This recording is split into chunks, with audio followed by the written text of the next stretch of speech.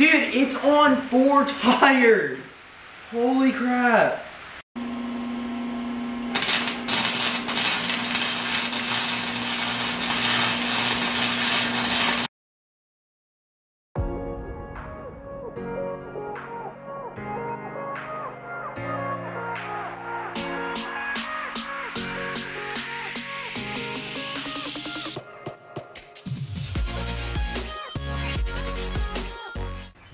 How's it going guys? Welcome back to the channel. Uh, last time you saw we were about here. Everything is kind of shifted around, uh, but it's okay. Um, I've done a little bit of planning and thought off camera, as you can see with some steering. Uh, but for today's video, uh, we are going to be working on uh, the rear axle. If you missed last week's video, we mounted the engine plate and the body on the frame here. Um, so now we can start working back and hopefully by the end of the day we will have a rolling chassis. Um, I don't know if I covered this in the video when I bought this four-wheeler, but it did not come with a uh, rear shock. So I went ahead and ordered one of those and it's here and it is a lot bigger than the stock shock would have been, uh, but it can also hold a lot more weight and it's got some adjustments. So we're going to be using that and testing it out. okay, so first step here, I'm going to snug up that bolt. Um, that way we retain our mounting position and distance. And I'm going to try and cut in the same spot on each side. Uh, that way everything is as symmetrical as it can possibly be. I might have to take the tires off in order to do this. Um, but the cool thing is I measured it out and the swing arm um, is centered with the axle. So I'm not going to have to do any crazy weird offsets um, or anything like that, which makes my life a whole lot simpler. So I'm going to snug that bolt down. I'm going to make two or four cuts, I guess it is. And then we'll go ahead and slide this over there and see how this goes. Steel tube across and get my level on there and see where we're at.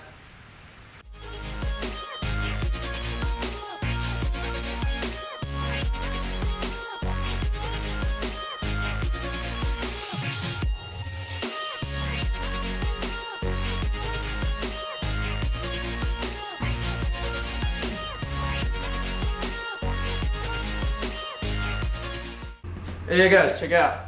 So I got this mask and uh, it's not to protect me from COVID. This is my work mask. That way when I'm welding or grinding, I'm not inhaling all the stuff that gets kicked up into the air.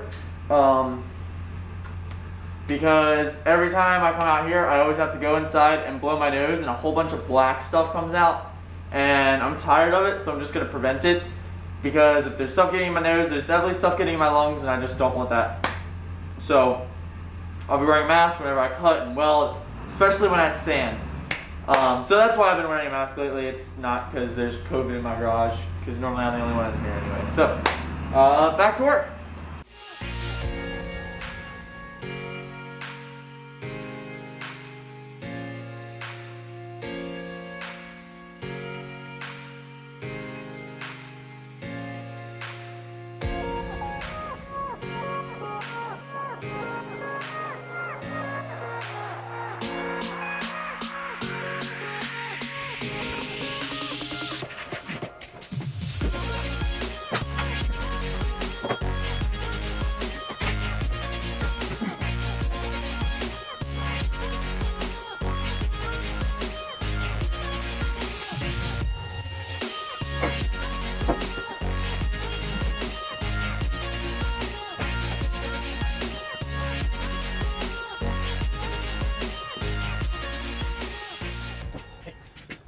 All right, so we're gonna go with our first idea, testing out here, um, which is to simply just elevate the rear, the rear end. So, just gonna pick this up, So we hit, uh, and that angle is absolutely absurd.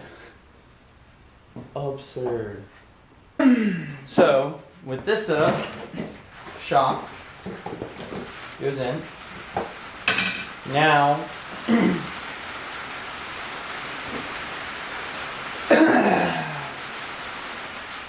now shock has potential to rest on our frame here, but still likely we'll need to have a shock tower between our props. This is not really what I want.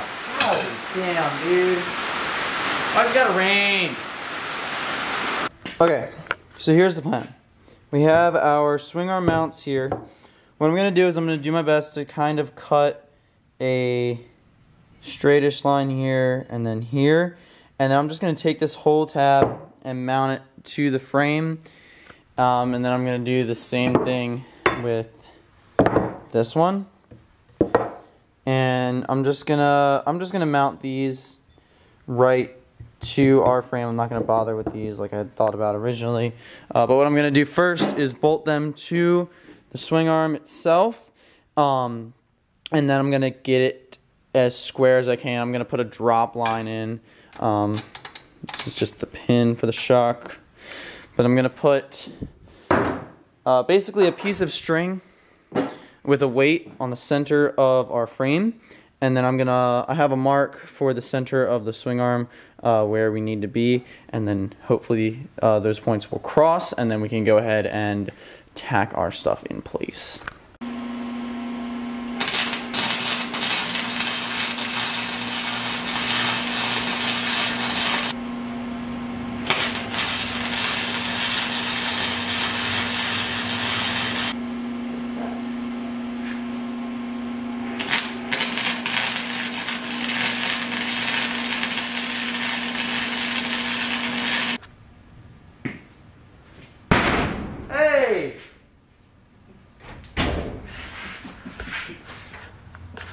Damn.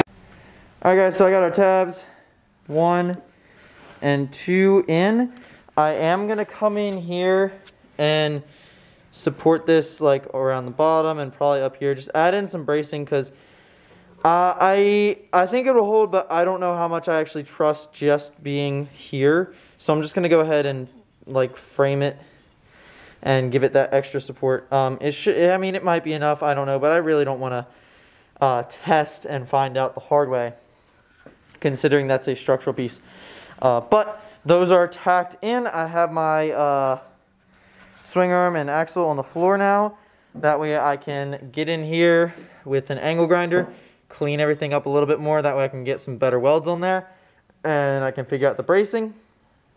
And I also want to make sure that the uh, pivot bolt came out. So I'm to put the pivot bolt back in just to hold square and then I'm to figure out some bracing. Um, and then I'll come back to you guys and show you what I did. Alright, so I have the rear axle bolted in and I have the gas tank and then I'm to have a bracket here uh, for the gas tank mount. Uh, that way everything that's in the way is pretty much in the way of this shock. All right, so coming over here to where we have not much left of a frame, but enough left of a frame that I can still salvage parts. Now this little U right here is about what we need right here. So rather than fabricate a U shape, I'm just gonna steal it off of that frame and then we'll weld it in to here. And this should work fairly well, I think. And then, um, here it is. We have our other shock mount here, which I believe this tube is just a tiny little bit bigger. Yeah, so this tube slides over the tube that we're going to use, which means if I cut it in half like this, this should be able to slide over and I can get a weld all the way around it and this will be just as strong as if it were welded to the solid tube like it was here.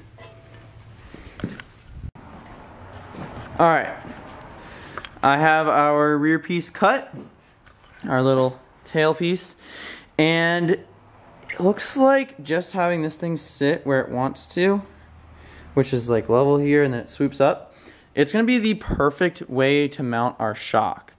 Um, and that's freaking awesome. So, what we can do is go ahead, clean up these edges, and I'll just add a little bit of a notch. I mean, there doesn't have to be a huge notch.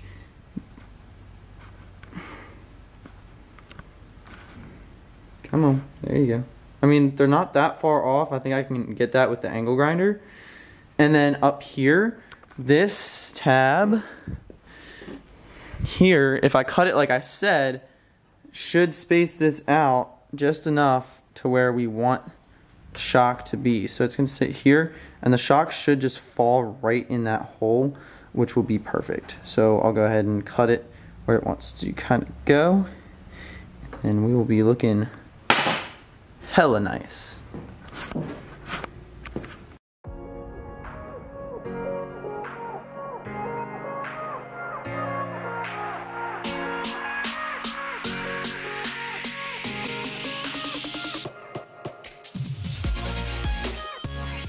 All right, so I have our first piece uh, tacked on. It's tacked on pretty good. I could probably pick up the whole thing by it, but we're not gonna do that. Uh, so what I'm gonna do now is take our mounting piece. If I can figure out where I put it. Oh, it's right here. So I'm gonna take our mounting piece here and slide it on with a little pin. Actually, let me do that on camera.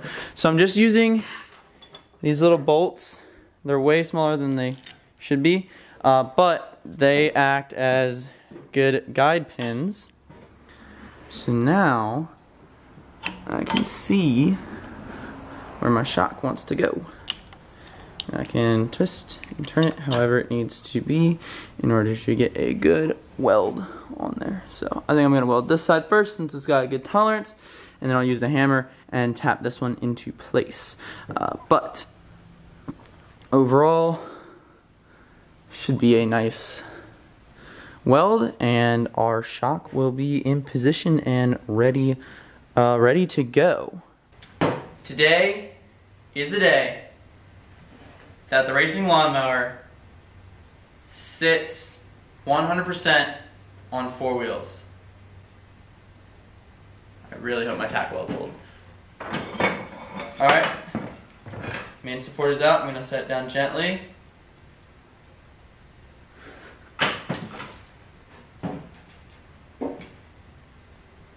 Guys, there's nothing holding this thing up except the wheels.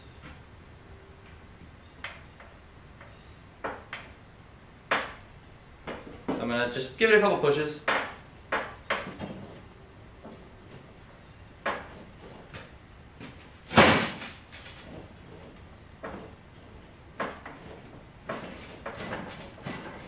So it's a little soft. I'm gonna go ahead and stiffen it up. Um, but guys, it's it's on the ground. Like this is a milestone. All right.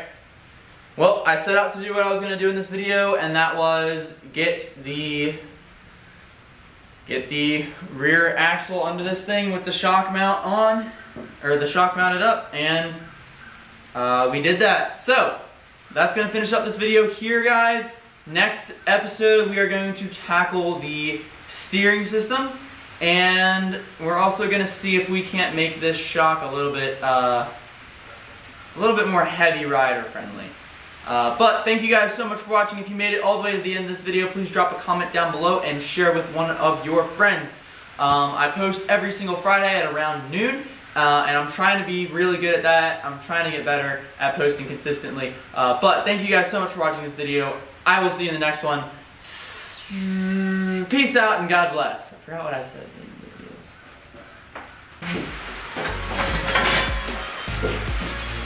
On its own weight, dude. Oh my god. Dude, it's on four tires. Holy crap. This is insane. I don't care if the shock is not what it needs to be. This is still freaking insane to be at this point. Oh my god. Dude, this is awesome. I am so happy right now. This is awesome. This is being awesome.